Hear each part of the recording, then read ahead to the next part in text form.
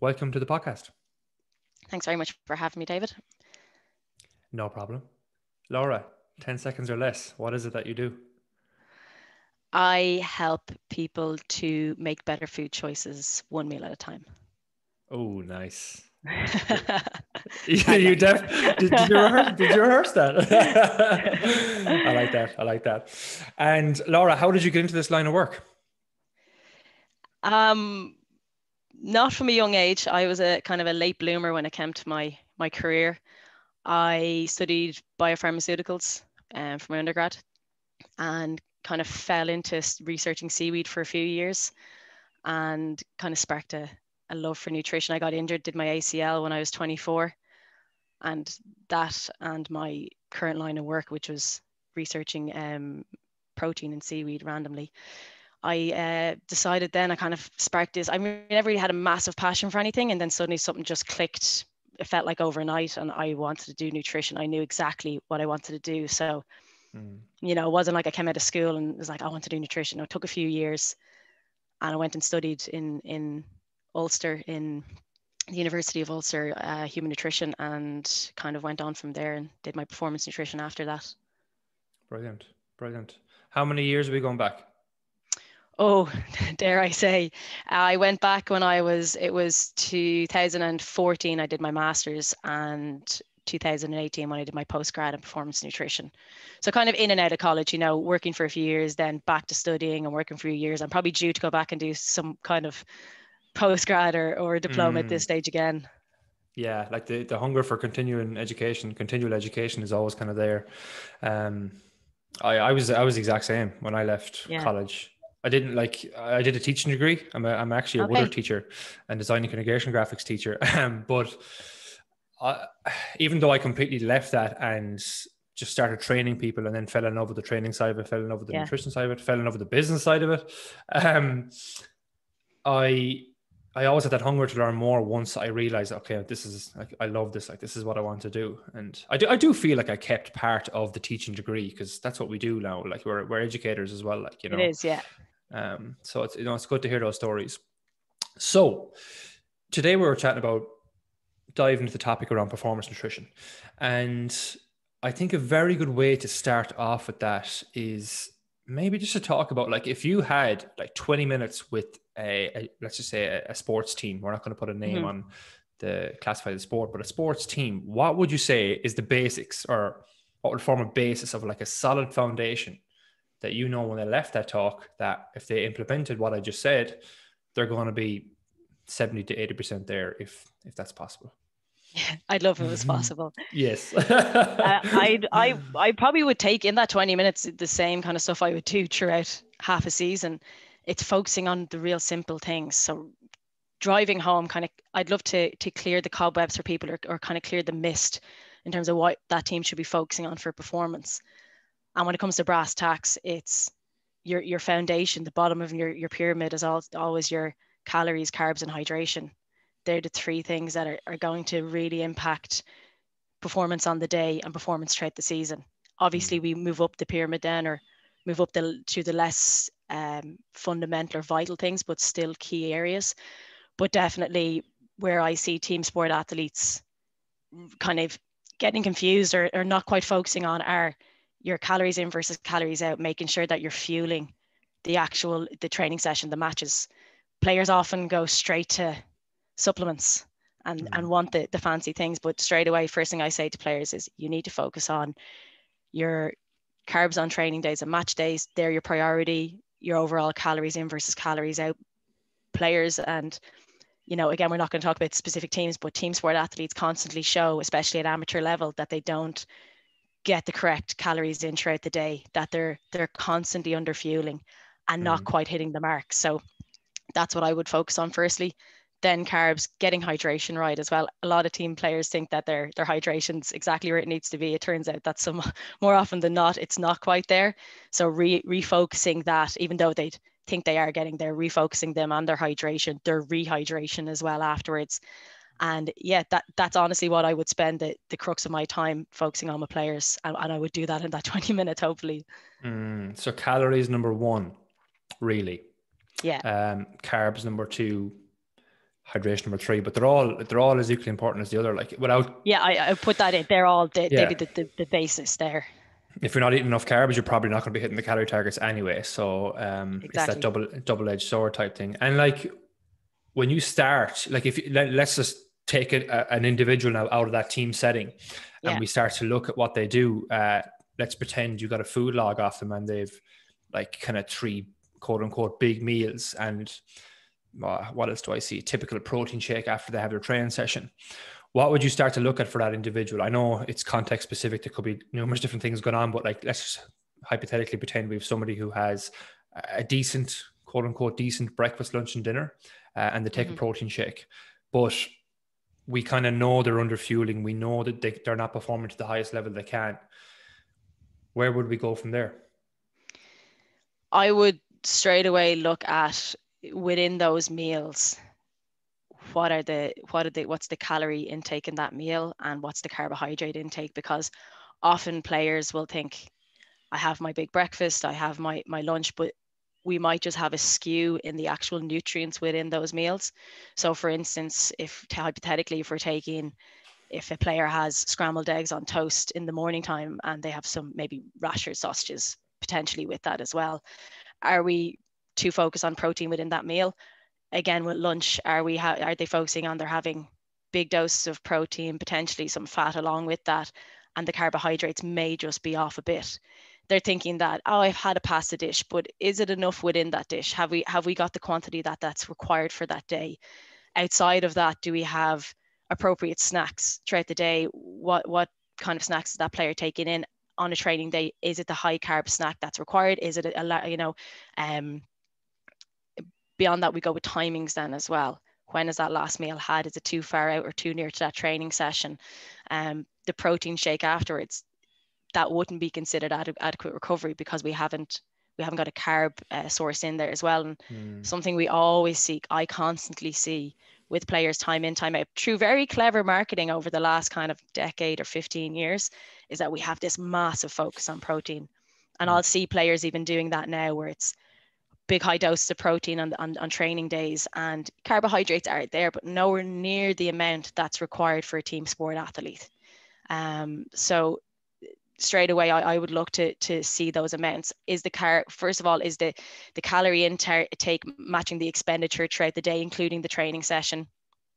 Because again what we see is players kind of yes, upping upping calories potentially on, on training days, but not maybe taking into account what they've done that day. Have they had a, a 20k commute cycle from work? Have they been running around all day after their kids, or are they on their feet all day at work, or do they have a very manual labor stressful job where um, they're on sites all day, or you know it is it is just a high intensity job. So that all has to be taken into consideration when you have your overall calorie intake, and you have to to match that. We have to match our intake with our output, or else we get into the realms of underperforming, underfueling, um, risk of injury, illness, burnout. And then beyond that, again, you know, are we into the realms of low energy availability and RED-S, which is relative energy deficiency in sports? So, you know, there are many consider- considerations to be taken, but first of all, that's where I would go with that. Calories and carbs are your first basis um, straight away. Let's touch on a bit, little bit deeper into the carbs or carb thing because I think people like you're you're you're bang on right with the protein intake. I do feel that nowadays GAA players are only getting too much protein for what they actually need it for. Um, like they're way above that kind of two kilo, two gram per kilo. Per, yeah, yeah, way above it. And like you, they can get away with what 1.5 probably to 1.8 grams per kilo if they got proper, let's say, full amino acid profile protein sources spaced evenly throughout the day. Yeah. Um, but I do feel, especially my own club mates, thinking about them, they they have that kind of down. Um, mm-hmm. Yes, the handful that will struggle with it's it's very easy to change that, but mm-hmm. carbohydrates seem to. I think there still is a a bit of what's the word I'm looking for I call them carb phobic. Like yes, yes, because it's it's still it's still really like we're afraid of them. yeah, exactly. um, why are carbs so important? Carbs are at high intensity interval sports, such as team sports. Carbs are our primary fuel source, our primary preferred fuel source. Yes, we could use fats at a certain intensity, but that intensity has to be, it can't be quite high. It has to be moderate intensity. But you're, you're forcing your body to use a, a secondary fuel source that doesn't really want it. It takes a little bit of extra effort. But at high intensity, you're going to, your, your body will only want to use glucose as a form of energy. Now it can do that. It can use its protein stores, and we don't want that. We don't want it to force our body to break down our muscle to convert it to to um, to have it then converted into glucose you know it'll go through a process of gluconeogenesis we don't want it to do that we want mm. to have carbs there available for our body to use we unfortunately and I, I, mean we as in the greater we the nation and and you know a lot of, a lot of countries were fr- afraid of carbohydrates again through very clever marketing that we've been exposed to over the last number of years. Um, carbohydrates are in people's minds linked with weight gain and we don't want that uh, players don't want that. That's not the case. And, and you know yourself that's not the case but that's the mindset. A big problem that i struggle with teams i work with is pushing past that. Now female teams are a lot they need a lot more convincing than mm. than the hmm. guys the guys still need convincing i still need to, to to push it with them but the women and girls i work with it does take a lot of convincing and repeating and, and showing them the nearly taking out the, the research papers and showing them that no this is what mm. you need to do uh, we're not quite there yet we're not they're not convinced um, so it's something that i actively work on i've just come off calls with with group work there from from a team i'm working with and it's a question i got of how do i make sure that i'm not overeating carbs on rest days so you know that it's a fear people have that they're eating too many carbs um, even though i'm recommending that they do go for for high carb amounts Mm, even that thing there of carbs on rest days.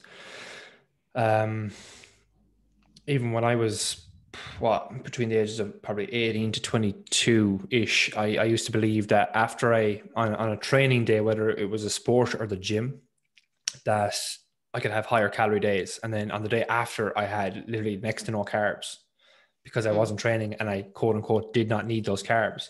But your body doesn't work like that. It's not just a thing that like that if you fill up the day before, it's it's it's automatically full the next day. You have to replenish stores and whatnot. Mm-hmm. And it, I do think it's quite sad that, especially for female teams, because I, I see myself. Um, yeah, there is that there is that we kind of forget that even though yes, these are athletes, um, they're still normal humans at the end of the day. Like we all think yeah. the same way, especially with what we've been shown in the media um, throughout time. So like if you want to get the maximum from your performance, you need to have adequate fuel. Absolutely. What like and even even that myth right there, how do I know that I'm not eating too much carbs on rest days? What what was your answer to that? I'd be keen to hear that. I would like so we have a protocol within when I work with the teams and it's you know it's the plate adjustment and you understand that it's the idea of kind of fueling for the work needed. So high intensity days, we go for the higher carb amount lower intensity days or, or, or kind of if we're doing strength training or stuff like that, we bring it down and rest days, we, we lower it down again. And trying to explain to this and uh, girl that she wasn't over consuming carbohydrates essentially meant that if you're i said to her if you're feeling very tired on on your rest day and you're feeling sore you need to be mindful of bringing up your carbohydrates to maybe that moderate intake. So it's kind of like an amber day an amber plate day. And then like uh, trying to explain to her that she knows that she's not overeating on them that if you don't feel like you know if you're not hitting those high amounts that i've recommended like you're not filling up half your plate of pasta you're not overeating on carbohydrates and and trying to highlight that to her is it's incredible you know and i've get like with mm-hmm. my players they'll all get sample rest days sample moderate days and sample um, high training days and, and i'm trying to direct them to to follow those recipes but it's that fear and and like I'm trying to get players not to too much overthink it, go to the other way is is is key as well. So just mm. essentially, it's it's about reassuring. Like I would have re I reassured her that she's not going to overeat because unless she's eating like a training day, essentially she won't be overeating um on mm. carbohydrates. Mm. So and it is that, that, there.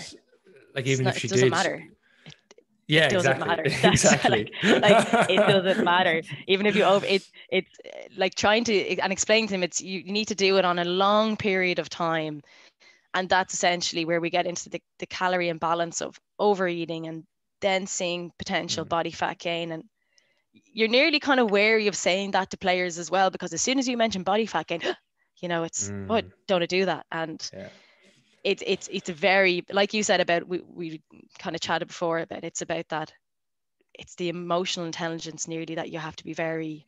It's not about numbers a lot of the time with players it's you have the recommendation there but you've got to take each person and be very some of them you have to be very delicate with some of them you can be a little bit more direct mm. in terms of their eating but it's it, you have to strike a balance with people because it's so personal to them and you have to understand where they're coming from with their food kind of ideology and, and food approach Yes, 100%. Like we still, whenever I did work with teams or even individual players, because we, we do get a lot of individual players from all over Galway coming to us for their own training and nutrition. Um, yeah. Like separate from their team, if you like.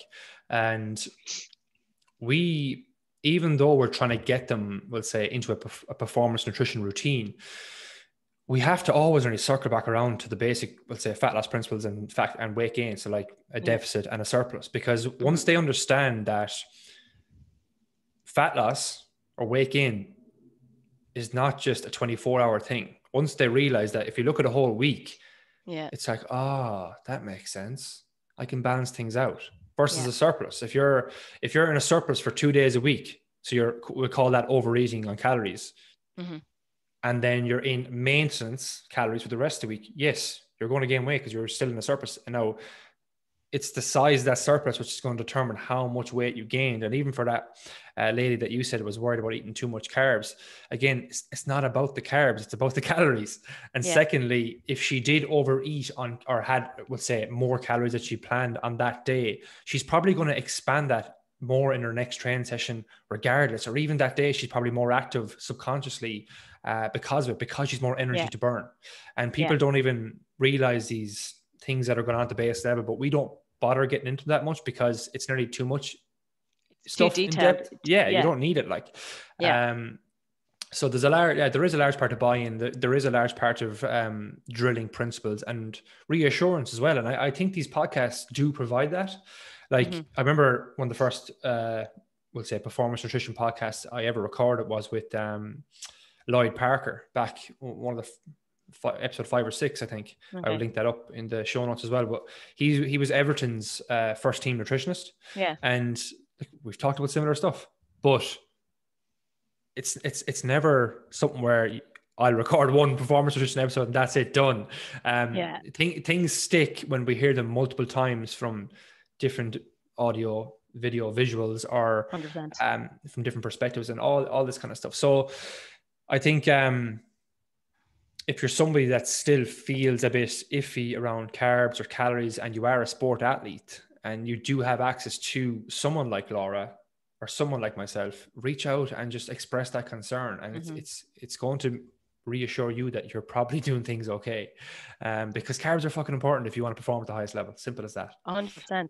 There's, on the flip side, actually, on the flip side, but kind of in, in the same vein, another question I've had this week from a player and a really important one is you have players that are on the other side of things very tuned in very aware of their nutrition hit their numbers. But where they struggle with carbs is that they they know this you know they, they know what carbs are healthy that they're happy to have in their diet and they're happy to have um, large amounts of these carbs in their diet and they're 100% with that. But in in sports nutrition and performance nutrition you have the two mix of two carbs because we have the less nutritious carbs, less healthy carbs, but them car- these kind of carbs are also very effective for late stage fueling or quick refueling. And that's where some of my players will struggle as well. So they'll come and say, I'm happy with carbs. I've no fear of carbs, this carb phobic thing. But what I do struggle with is these high GI, high sugar processed foods that that's also recommended it. You look at you look at any fueling station in the NFL, in the Premier League, um, you know, in, in the rugby union leagues, they will have fueling station that will contain, you know, uh, Rice Krispie squares, jellies, Jaffa cakes, you know, soda bread, Madeira cake, everything. Not necessarily the most nutritious or healthy carbohydrates, but very effective for fueling. And that's something, again, another hurdle that I have to overcome with players where you just have to get some of them out of this mindset of you have to eat the most nutritious food all the time. You don't. And, you know, how you nearly explain it is you've got your circle of nutrition for health and your circle of nutrition performance they overlap in places but they're still two different things sometimes.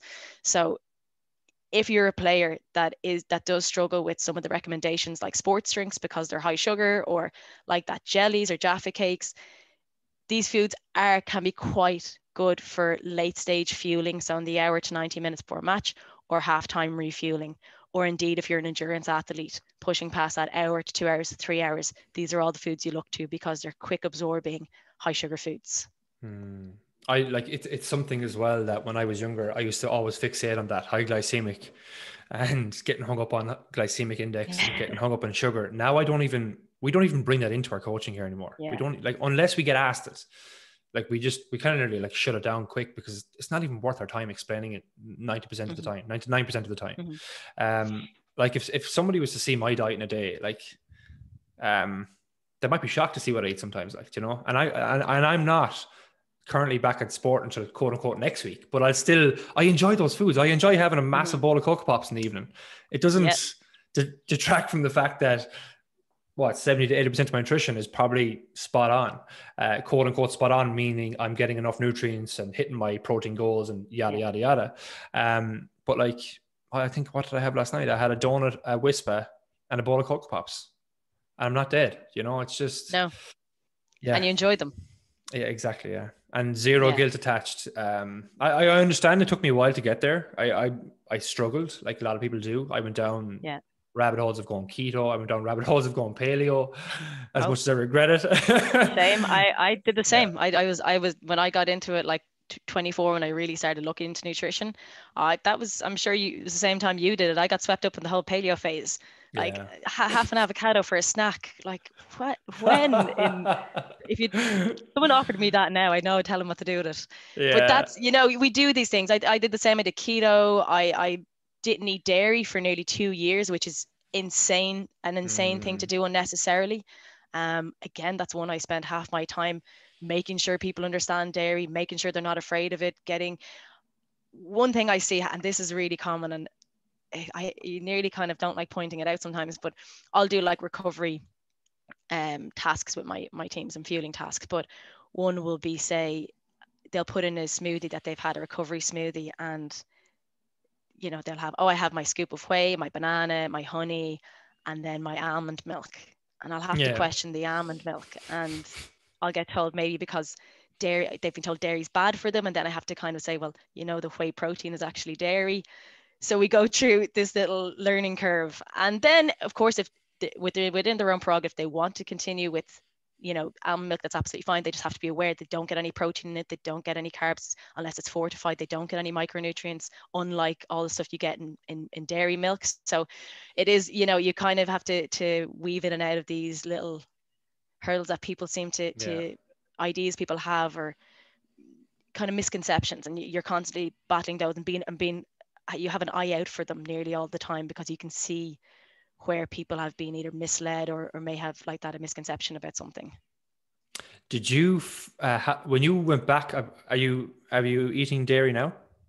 Oh yeah yeah. Like a liter milk a day. Oh yeah. Did you find any um uh, discomfort or that come back on dairy None at all. You, you were able just to handle it straight off the bat when you were yeah, back on. I, yeah, and I would have never had an issue with dairy. I, I went off dairy because, like that, this was the time, and sure you can remember this. The China study was in full flow. This whole anti-dairy thing was coming in. We were all going paleo. This was probably about nine years ago, nearly ten years mm. ago now. So, and I think a lot of people who who remember this this time will especially if they were into their nutrition and were following these certain influencers that were around the time that were encouraging paleo um, and encouraging the anti-dairy movement. I went, but I like I, I would have had very little dairy, if any, over maybe cake or you know maybe cheese yeah. on, on something I don't know. But I went back into it. I realized how the madness of of because I loved drinking milk, you know, and mm. suddenly going from this thing thinking that this thing you enjoy and you felt was conducive to your health is then bad for you. So I, I cut it out. Now I had no issue going to, going back onto to large amounts of dairy, and I would have large amounts of dairy at this stage. Because I had a lot of um, sinus issues when I was younger, and um, mm. gut issues and stuff as well. But I think the gut issues were uh, more alcohol related than anything. But anyhow, when I went off the dairy, like um, I was really anal about staying off it, and I, I went through a phase of even yeah. trying goat's milk, and I was disgusting. But when I when I but bear in mind, I was I was having a liter of full fat milk with my dinner pretty much every day, and okay like cheese and yogurts and probably dairy throughout the rest of the day as well. So I I did find I was very caught up, very phlegmy and stuff. So when I came off it, that cleared up dramatically for me, and I was kind of like, okay. oh, it, was like reaffirm my beliefs. Humans can't have dairy, but yeah. then obviously when um I can't remember when I went back on it, but I was a bit more conscious of the amount I was having. And mm-hmm. I'm even finding it now again lately that I'm starting to get a, a bit more f- kind of phlegmier and caught up more than usual. But that's down to the fact that I have so those 500 gram yogurts, the 50 grams of protein, okay. the ones from Aldi. Yeah. I've one of them every day for the last like four or five years. I have coffees with milk in them. I have cheese yeah, with yeah. every second meal. Um, but you know, there's a trade off. It's kind of like, yeah, I, I, feel a bit more kind of caught up with that, mm. but is that due to dairy? 100% due to dairy? Maybe maybe not but am i going to change my diet dramatically because that? No because i enjoy it so much you know? And you yeah i'm trying to be more there, conscious of it like but yeah it, there's an issue and i'm just in relation to kind of your experience there of what i find a lot of people do is like that they'll hear and i'm just taking dairy for example yeah. because it could be wheat or it could be gluten or it could be some other nutrient that they've been told causes i did all that as well yeah that well i same but oh, I was anti, you know, anti gluten for like that around that time as well until I kindly copped onto myself. Um, but we do they people do this thing and they'll like that say they cut out carbs or they'll cut out gluten or they'll cut out bread and suddenly they feel amazing and they're mm. you know mm. they're like i have so much more energy and um i'm feeling so much better i've dropped a bit of weight but like in conjunction with that. They've also started going to the gym more walking an hour a day. They're maybe drinking less um, they're maybe cooking at home more. They've just changed a lot of other factors that have helped this along but they'll always owe it back to something else. They'll owe it back to gluten but maybe they've just stopped ordering pizza every weekend and have cut back on having 12 cans of guinness on a saturday night. You know there's there's lots of other things that people would love to owe that they've cut out a certain nutrient but in the vast majority of cases that nutrient is absolutely fine in people and mm. they've just adjusted other areas of their life and they're they're just owing it to that one thing and we yeah. need to be a little bit more kind of pragmatic in our approach to that because it, it, it means that that person goes on and tells their best friend then that oh you need to cut that nutrient out of your life and people are very quick to tell people how to improve their diet from my experience. Yeah, yeah. like bread is a big one. I've I've like I've heard that a lot recently. Again, bread, I've cut out bread and I've lost X amount of weight. And a couple of years ago, I had a neighbor. lovely man but like he i remember he, he knew i owned uh, doc fitness and uh, mm. he'd often ask me questions about it and stuff and one day i was chatting to him and he was telling me how Jesus, Dave, I've cut out bread for the like the last something like eight weeks, and he's lost five or six kilos. Wow. And um, yeah, but he was still going to the pub on a Friday and having I don't know how many pints, you know. and I was asking why did he do it, and he was it was it was mainly because of gluten. So okay. gluten is and, and now that he's knock on gluten, he's more energy, he's sleeping better, he feels better, he's lost a lot of weight, even though in my opinion, not to judge, but he looked shocking because he just looked gaunt now. He was losing. he was already very skinny, like yeah, okay. Uh, but it was just completely ironic um, how he was going out to the pub and drinking pints that are literally gluten full of all, gluten. yes, uh, but like it, it just goes to show you like that basically what he done was because his diet was predominantly bread. well, I just went to ask yeah, how yeah. much bread was he eating a day? Yeah, like, like he put himself in a huge deficit and yeah. uh, was probably counteracting that deficit a little bit at the weekend because he what he is fond of his points.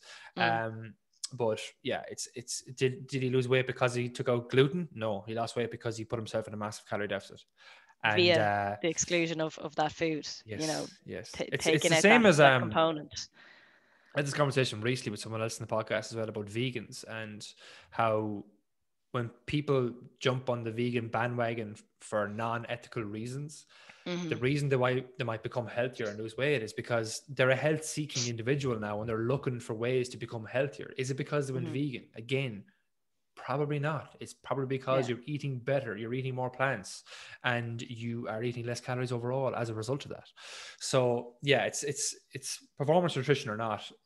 Those other principles are still at play. And like as I said, just because somebody plays a team sport doesn't mean that they automatically know this stuff or are um, excluded from the bullshit in the media. Like you know, mm-hmm. um, I want to circle back around because we talked a lot about the carbs, and I think we've dispelled a few myths amongst that too, which is fantastic. But if you were to give somebody some practicalities when it comes to carb intake, because we're saying high carb, we're saying low carb, we're saying carb this, carb that. Mm-hmm. How would you? How would you? Without giving, you know, yes, you could say to me, "Oh, we require four to six grams per kilo of carbohydrates or whatever." Where have you any practical stuff that we could take on board without going into those numbers? Yes, this is key to what I do with with teams I work with because you turn around to, you know, a, a 21 year old young fella and say, actually you should be getting 480 grams of carbs today that means little to me like okay yeah so we don't i try as much as i i will always highlight these are the numbers we're seeking. This is where the evidence lies. This is what the research has told us. But for you guys, this is what it looks like in food. Mm. So I always work with literally fistfuls. Um, we don't get into the you know discrepancies of how big your hands are, but we'll just go with fistfuls for main meals. They get a list of and pictures. We always work. It's very much you know hmm. picture based so they can just see the food what i'm talking about it works far better um you've very much and it's something i was lucky enough to learn very early in my career in terms of even working with anybody that don't people don't understand grams or anything like that when it comes to food the, the lay person they just don't so you need to show them photos so we go hmm. kind of by fistfuls i'll always work with fistfuls so like on a match day you're going with porridge or uh, lunchtime pastas, rice, um, potatoes, anything like that, you're going. The bigger guys will always go kind of three to four fistfuls, up to five on match days. Um, with female athletes or smaller players, we're kind of go two to three or between two and four. So if they have that in their heads, that okay, porridge, I need three fistfuls or four fistfuls of porridge on training days and maybe up to five on match days. And then I put my fruit in on top. Like I would be confident that get they're getting upwards of 100 grams of carbs, roughly. It's never an exact science. Per meal. Per meal. That's what we're aiming for. So, yeah. um, and within that meal. So that's kind of when, when you give, when you can go by those kind of measurements, they're far from the most accurate things you're going to get, but you know you're in mm. the vein of it. You know you're in the right line. Um, and then after that, very much picture based stuff of you should know kind of your your your fueling snacks are your smoothie that you're confident in that has kind of from a recipe you've seen it has a say 100 grams of carbs which is your banana milk yogurt some honey and maybe an apple or a pear. So you have that kind of standard smoothie that you have two hours before your session that you know has high high quantity of carbohydrates. After that if you do have high amounts and you struggle with your intake which i know players do especially on match day with nerves and things we would go for very simple options and liquid form of carbohydrates. So stuff that you can just keep drinking on. Um, and that works with early morning sessions as well because you've got mm. that limited fueling window. But for practicality, um, yeah, I would I would use that that fist measurement and then having a standard shake that you'd have on a, on a training day for fueling and snacks are based on fruit and and cereals granola and yogurts, things like that, with all the simple stuff that players have heard time and time again, you know? Yeah, yeah. And and I think players need to understand as well they're still hitting their protein targets along with that.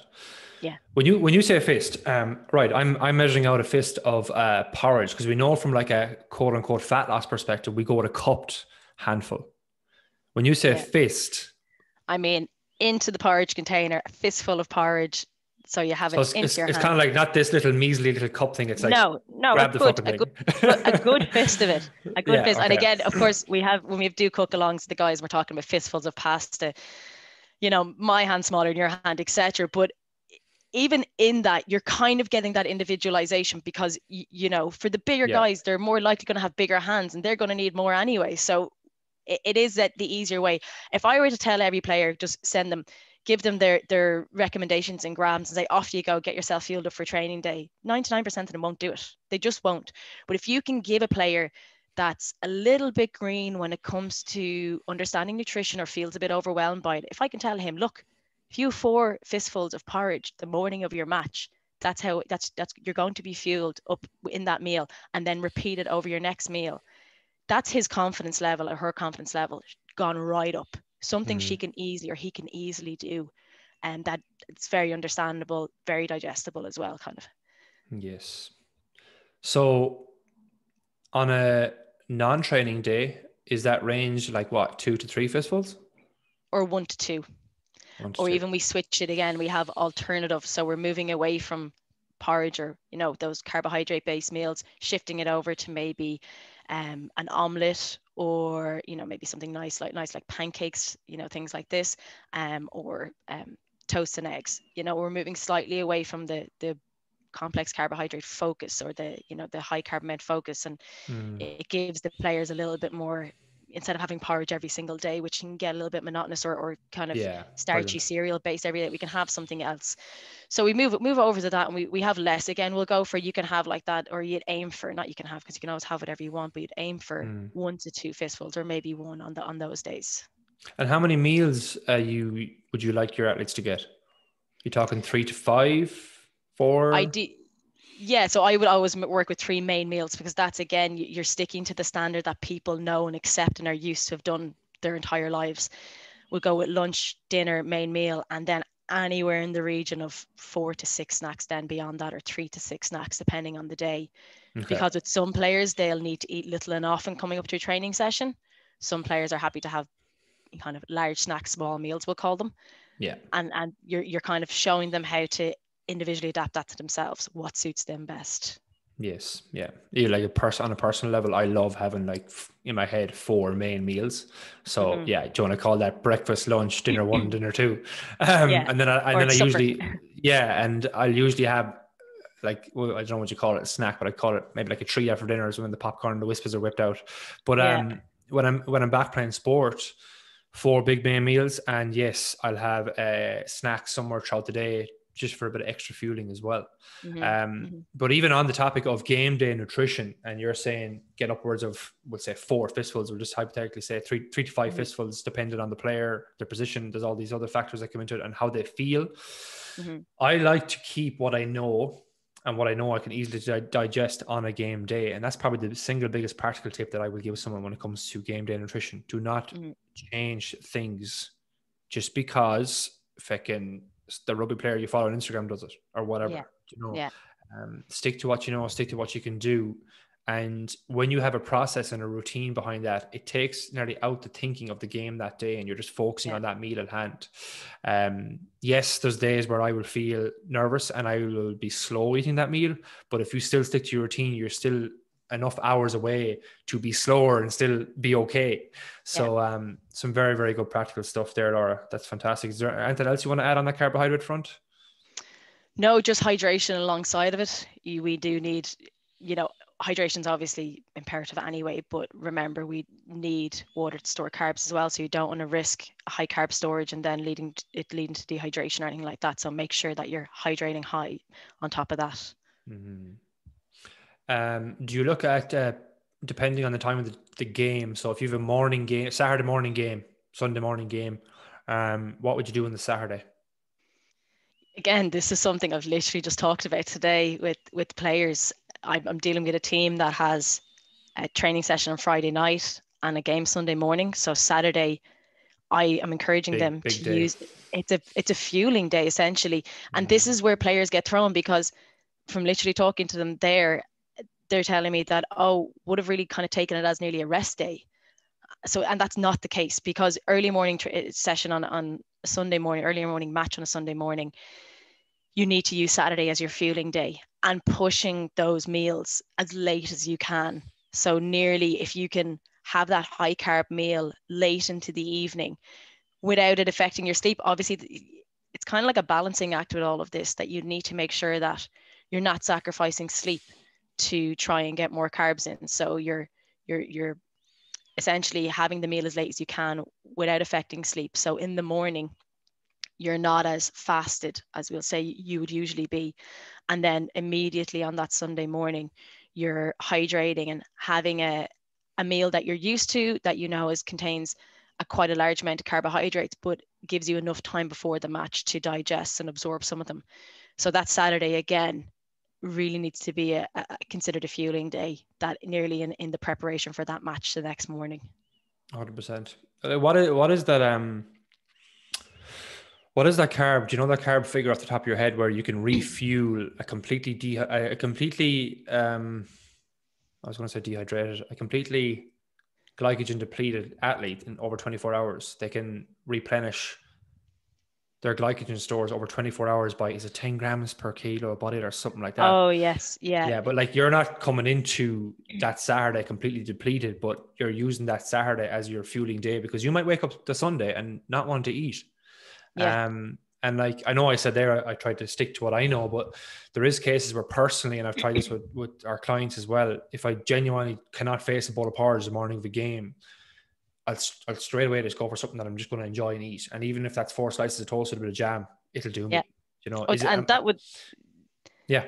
Sorry. Yeah, that would be. That's again that comes into what I've said about players that that conception of I need to have the porridge and that's all I can have and mm.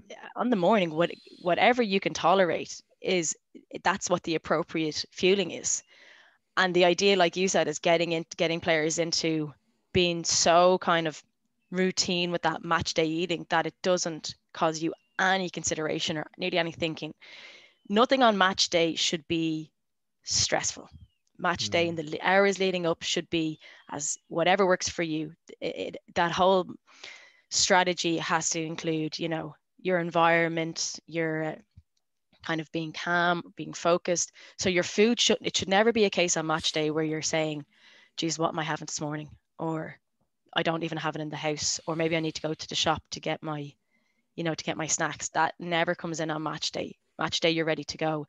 Mm. And like you said, if you wake up on the morning of ma- a match and you can't face a bowl of porridge, have your contingency there go I'm, I'm getting you know like that you're getting the sliced pan out and you're going to have you're going to have your jam on it and you know that's that's just going to be just as good mm. um and that's that's match day prep and that's the level that I aim to get with, all my players that come championship come match day championship that they are completely ready to go. They have their strategy. And also that has a powerful psychological boost as well for players. That it's that confidence level going into a match that literally no stone has been left unturned. And there's nothing that they couldn't have prepared any better. Nothing more that they could have done you know? Yeah. Yeah. I think one thing that used to get me personally as well was if i didn't have protein that morning because i wasn't up to eating it i used to feel bad because you know you have this thing in your head you get protein because protein turns over you have your protein turnover every day yeah. you think that you're going to fucking fade away if you don't have protein like um but um yeah, again, if you can get something that you can just digest, just get it into you and get on with it. Um, it's, yeah. it's like it's it's a bit of tough love. This mentally has worked well for me because I used to overthink games an awful lot. I went through a period where I used to overthink them very badly. Like even if it was mm. a challenge, I was used to do it mm. to myself.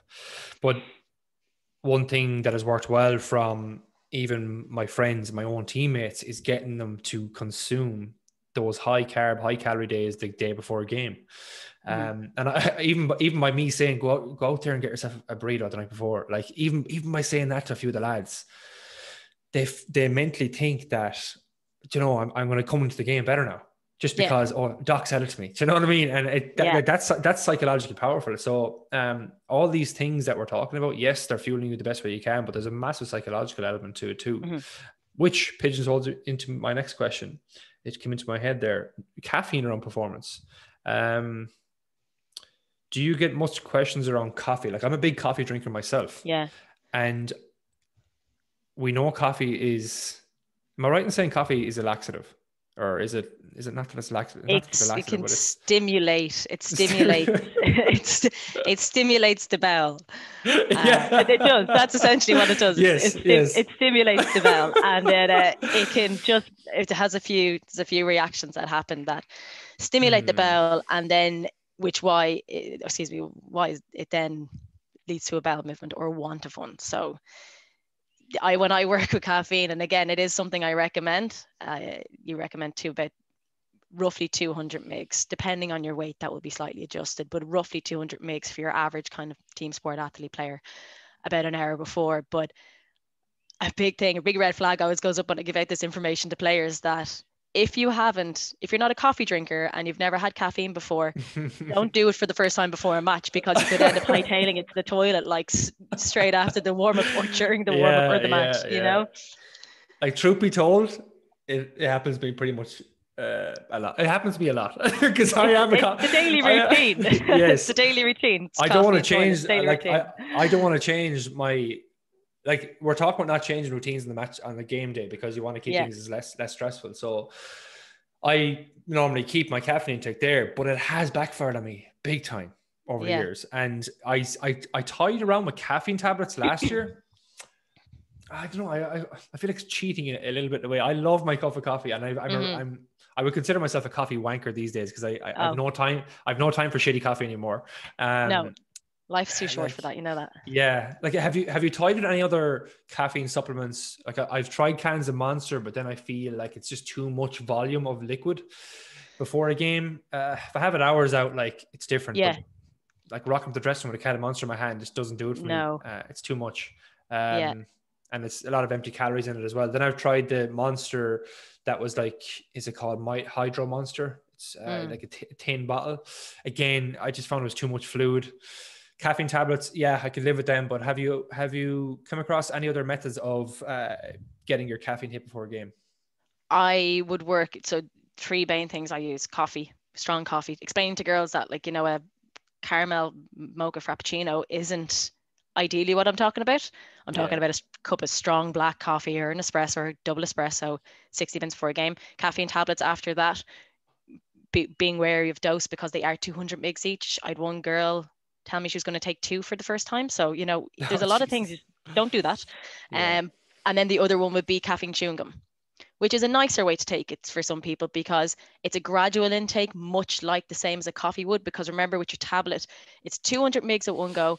It's, right, you know, it, that absorption is similar across the 200 mgs. So, you, you know, you're getting it as one dose rather than the coffee you'll drink over maybe five or 10 minutes. So it's a little bit more gradual mm. the tablets all at once but the chewing gum will have that similar effect if it's, it's the gradual intake so i have seen kind of higher success rates of players with caffeine chewing gum rather than uh, for players who, who aren't caffeine um, or kind of used to caffeine so i would i would kind of rather players go coffee caffeine tablets in that order from my own experience. Nice, yeah. So I'm, I'm gonna uh, give that chewing gum a go now after hearing that. Yeah, yeah, and it's not it's not too expensive, and it's I would find having used all three, after coffee because I, I drink a good like it's not just a cup of coffee you're having for that stimulus effect it's a cup of very strong coffee because your average cup of coffee only has about 140 mgs of medium strength.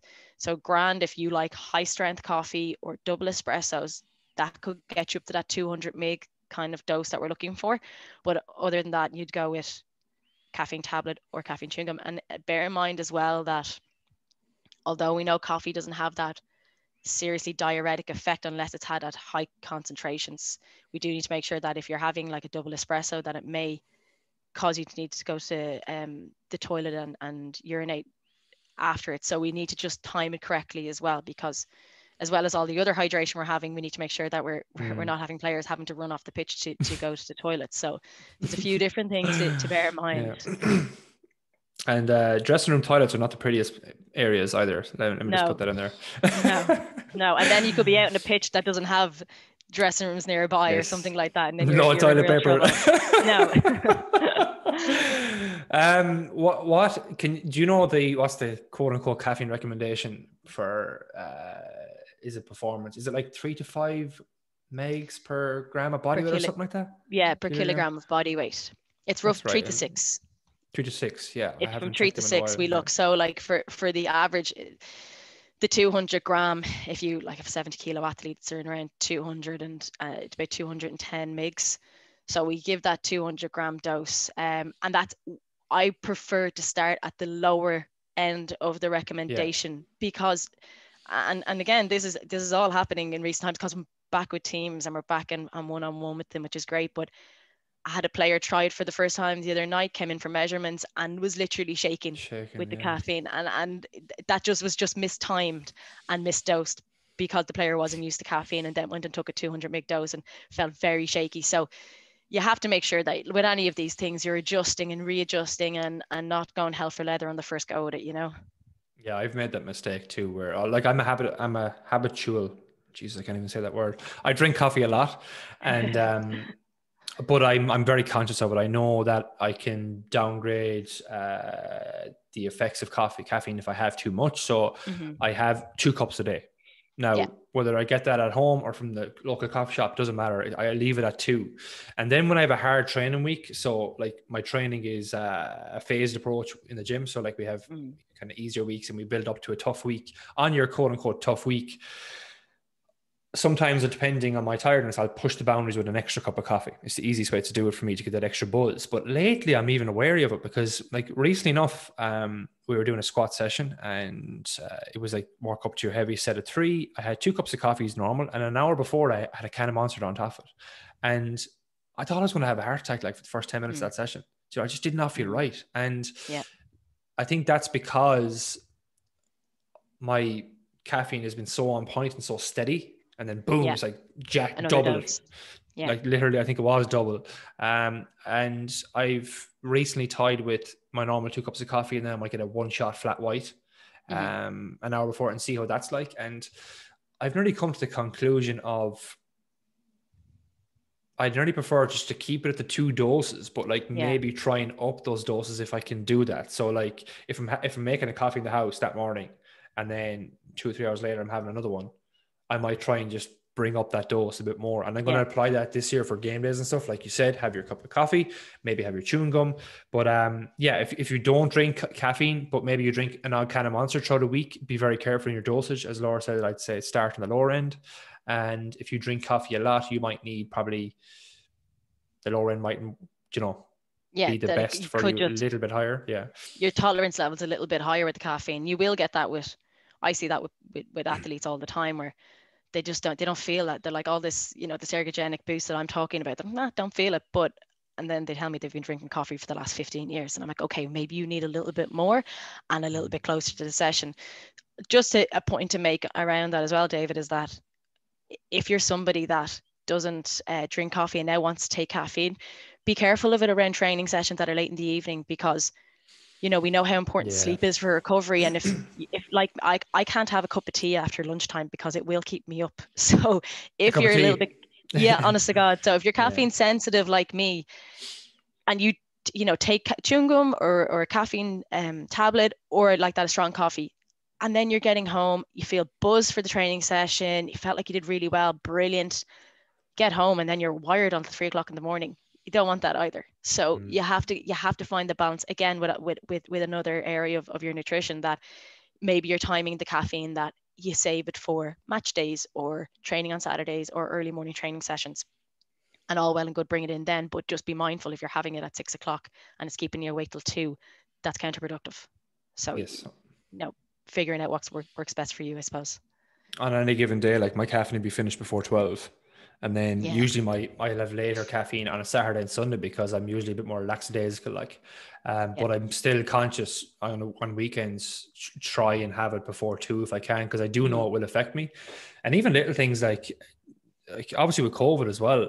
Um, it's like a lot of my Saturdays for us, uh, a nice Saturday night out would be watching a film or watching a Netflix series and maybe getting a takeaway and yeah. with the takeaway a Coke Zero and mm-hmm. you know, it's, it's, it's a different thing to do. And I've, I, I, I, do it every now and then still, but like I've actually changed my approach to that over the years because I used to find like having a Coke Zero in the evening, it's it's a big caffeine hit whether you think it or not. There's actually a lot yeah. of caffeine in Coke Zero, and there's there's more caffeine in tea than people realize. Let me let me say that as well. Uh, I know 100 megs, yeah. yeah 50 like, to 100 uh, megs in tea, and that's 50 that's to 100, yeah. Yeah. I yeah. done a I actually have a very good caffeine graphic which took took me hours upon hours. I took the took the data from examine.com yeah. and there was a America there's a very, very good American caffeine website. So I kind of and basically put the two of them together and put a caffeine guide together. I'll put that in the show notes as well. And I might, might actually share it after this next week on the on my very Instagram good. too. But yeah, I think the the like a basic cup of tea was around like 45, I think off the top of my head. But that can scale, that can double depending on the tea you're mm-hmm. having. Yeah. And if you're having six to seven cups of tea a day, you're having more than me in terms of caffeine. And you're wondering why you can't sleep at night. And funny on the tea, we've actually started drinking decaf tea lately because my wife is pregnant. That's she loves okay. tea, so that's why she's brought it in. And she knows then if she has her one coffee a day or if she has a can of Coke Zero, that's her caffeine hit right there. But if she's having two to four cups of tea a day as well on top of it, it's not mm-hmm. adding that extra caffeine hit. Yeah. Um, and now that we're drinking decaf, I'm not a big tea drinker, but I, I, I do enjoy maybe an odd evening. I'll have one. Um, I don't notice a, a difference with decaf. I know, yes, you'll have your avid coffee, tea drinkers that tell me to go fuck myself, but uh, I think it's I think it's like the, it's it's like years ago when I changed from Coke to Coke Zero. I used to yeah. drink Coke until I used to cut my ears, like, and okay. then I changed to Coke Zero. Um, back when I hadn't a clue about nutrition or didn't really care, but when I changed to Coke Zero, now I genuinely argue that Coke Zero is better than Coke taste wise. Yeah, i i think I argue that point. it, it's adapting though. I I also switched to, to decaf tea in would you believe probably only three months ago. Oh, after nice. after twelve o'clock, I, I drink decaf because like I would be especially when I'm working, sitting down all day. Tea is just nice. Go get the tea, sit down. It's it's just a nice break up yeah. in the day. Um, a nice have tea in the evening. I stopped having tea when I when I realized that actually it was keeping me awake. Because if you have a cup of very strong tea like that, it's anywhere up to potentially 100 megs and it is averaging in like you said 40 to 50 megs per, per cup and it, people are having six a day. You're you're up around those higher caffeine intakes. Mm. so i just found switching over. I don't notice the difference. My dad will tell you otherwise because every time i bring him in a decaf tea he hands the cup back to me and he somehow can't tell he must be a tea connoisseur. But yeah it's it's those little things and and people who drink remember green tea as well also yeah. has caffeine in it. So just be wary around those things. And I always come back to I am like a drill sergeant when it comes to sleep, encouraging people to sleep better. It's a huge health pillar that's completely forgotten about, in my opinion. Mm-hmm. And those little things that either impair your sleep or lower your quality of sleep, including yeah. the, the glass of wine before bed, anything like that needs to be taken into account we could we could have four or five podcast episodes on sleep alone and and, and yeah. tips and tricks and hacks and whatnot but yeah it's it's it's it's massive and it's it's become a thing where i'm constantly in the quest for how can i improve it myself um even down to now anymore i don't i don't have shit pillows anymore like i used yeah. to i'm investing in mm. good quality pillows now and i'm looking for you know um even if i find that my my pillows kind of getting a bit worn down, I'd probably change it. Like little little things, the room I think temperature. that's called hitting your thirties as well, though. That yes, that. definitely. I, I, give a shit about. My, yeah. I give a shit about pillows and washing machines and dishwashers. yeah, that I uh, tell you, I, yeah. I did couldn't have cared. Like blinds or duvets didn't, oh, yeah. you know, yeah. didn't give it monkeys years ago. And now I'm finding like that pillow doesn't suit me. I'm gonna readjust it now and buy a new one yeah. or buy a better better duvet or get blackout blinds. Like all of these things. You don't consider yourself um or you don't consider them being important things. But then when you you're hit with the hard fact that you spend a third of your life sleeping and it is a big determinant on how healthy you are mm. that you need to like we all but like you know our 20s are for not sleeping. And I think then in your 30s, yeah. you realize this is where actually, and then you have kids, David, and it's all going to change again. So. Yeah. yeah. but sure, I, I, I, I live with Kate, like, um, when we were both in college, uh, we moved in together, and I think it was it was two years. I I was six. I'm six foot two. Like I'm not exactly small, but two years we were in a single bed, and I, I, didn't care. I didn't care. But now, now I'm like, as you said, I, I, I, give a shit about like I know about tread counts and sheets now. Like that's how yeah. bad I've got. yeah.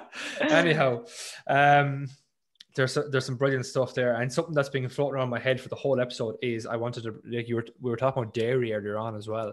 Um, I wanted to just get it in there because I don't think people know this, but is it skim milk or semi skim milk or something like that? Semi skim milk is the is the or is one of the most hydrating drinks you can have on earth.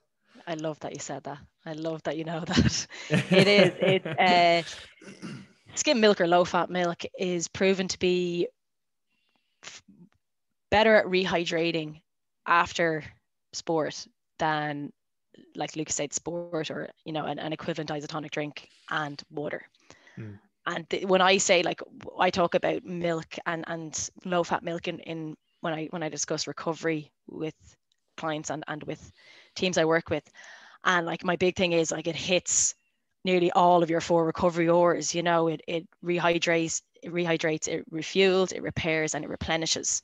Hmm. You know, it is effectively one of the best sports drinks, quote unquote, out there. And people hate, you know, when you when you bring things so simple to people, they nearly don't want to accept it because it's like, nah, that can't be right. It's because it's been under your nose the whole time. It's been mm. sitting there, being being the best thing for you, and just being in plain sight. And I don't think people are very reluctant to accept those things. It's nearly yeah. kind of it's it's nearly why I get players. Players are more likely to drink Muju for me than they are just plain low fat milk. And that's to do with taste and things like that. But they feel like Muju is more, I don't know, it, it's it's a little bit more fancier, it's a little bit more pizzazz about it, or even the, the, the protein milk. They, they don't want to accept this really simple thing could be so good for them and and mm. you know have that have that all of those that that replenishing, rehydrating, refueling, and repairing effect on them. So yeah, like that's why I'm I, I kind of I encourage my players to drink milk so much. It's it's a repetitive thing that it's mm. it's the most effective thing to have when I'm working with them, food provided with them. It's what I recommend they have available to them to take home. So yeah, I'm I'm a bit of a milk advocate. I promise I'm not sponsored by anybody as well. no, I'm the same. Like I think, I, but I think I feel we're the same though because we like if if you look into the science behind dairy, it's it's mind blowing how good it is, mm. and but yet you have people in the world saying that it's the worst thing ever and only cows should drink it. Hmm. Um, mm. it's yeah, it's a no brainer. It's like I mean, I I know when I get to the end of a tough training session and if it's a hot day, I literally crave a pint of milk, and I just can't yeah, wait to get home to get that cold milk. Oh, oh my god! Now, if if it's the case where you know you do ha- like there are genuine dairy allergies out there. There's yeah. genuine dairy intolerances out there. You know, if you're lactose intolerant, if you have another allergy to, to a component of dairy, absolutely you you find alternatives. And I encourage you to find appropriate alternatives but what we what we more see is that people cut it out for no reason at all other than they've been told it's bad for them which is it's not the right approach to take with any part of your nutrition. Um, obviously the, the, what's what was those misleading and, and false claims about dairy of it being pro-inflammatory it's actually anti-inflammatory. That's what the research mm. has shown us that it's actually like that. It has an anti-inflammatory effect in our body and therefore helps with recovery. So you know it is, it is I, I anybody listening to this if you have reduced or cut out dairy and you, you are playing sport or even for your general health don't you know have a little bit more um i suppose that we look at it a, a little bit more kind of pragmatically where we're saying okay is this the best thing for me to do for my health? The issue with cutting out dairy is that we're often not what we see and i'm sure you're very aware of this that we cut out dairy we take those key nu- nu- nutrients out of our diet, such as, you know, what what uh, the micronutrients that we have within dairy, the the protein and and the carbohydrate, and then we have a dairy alternative such as a nut. I'll call it just flavored nut water is what I call it because it's not milk, mm. and you you have those cashew, almond, soy, or oat oat um, oat, mar- oat dairy alternatives and they don't contain the same amount of protein. They don't contain the same amount of vitamins and minerals. Um, you know, calcium, vitamin 12. And when we cut out dairy and we take out all those nutrients and we don't replace them, we're then nutrient mm. deficient in these areas because we haven't got that intake. And that's where people drop the ball on it. That's where people aren't, uh, they're not aware of this is that's that's what's happening. So we need to be, if you are choosing to remove dairy, if, either from you know for ethical reasons or for um, health reasons, that you make sure that you're aware of the nutrients you need to replace them. Brilliant a point that I didn't foresee. I asked you earlier on, did you have any issues going back on dairy? Because I think I don't know if I even said it, but when I did, I was a bit uncomfortable for a few weeks. Mm-hmm. But I've I remember looking into it at the time, and I was like, because I haven't had dairy, my body wasn't producing the enzymes to break it down. And then when I reintroduced it, it took me a while to kind of get them back up and running. Yeah. Now I don't know if that's pure and utter whatever, but um, I feel like I experienced that in Southern Rem. I haven't looked into the science behind that in a while. I could be wrong in what I just said, but I, I think it's there is potential. something there. Yeah, yeah, well, it, yeah. If you're if you're missing it in lactase to, to digest lactose. I think that was it. Yeah, but I just I haven't looked into that in years, so I, yeah. I, I, I don't want to say something that I'm incorrect about. Um, because I'm always right. I'm always right. Same with myself. yes, of course. Um, Laura, where can people find out more about you? You can check out my Instagram, Bridge Nutrition, or my website, bridgenutrition.ie. Perfect. Those will all be in the show notes anyway. And um, anything you'd like to leave this episode with, Laura? Uh, nothing other than just don't overcomplicate your nutrition, keep it simple, and just take one meal at a time. Nice one. Thank you very much for coming on. Thanks very much, David. Appreciate it.